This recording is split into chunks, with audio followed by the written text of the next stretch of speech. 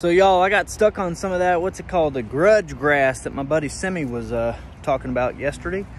And uh, we got Charlie the Cormorant, I'm sorry, got a little off topic.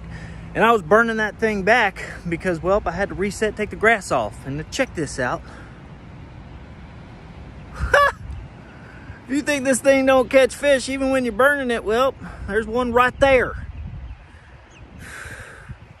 That's something. I mean, look at that. Wow. I'm just gonna leave that on there as like a little uh, attractant. Figure it's gotta work somehow, right?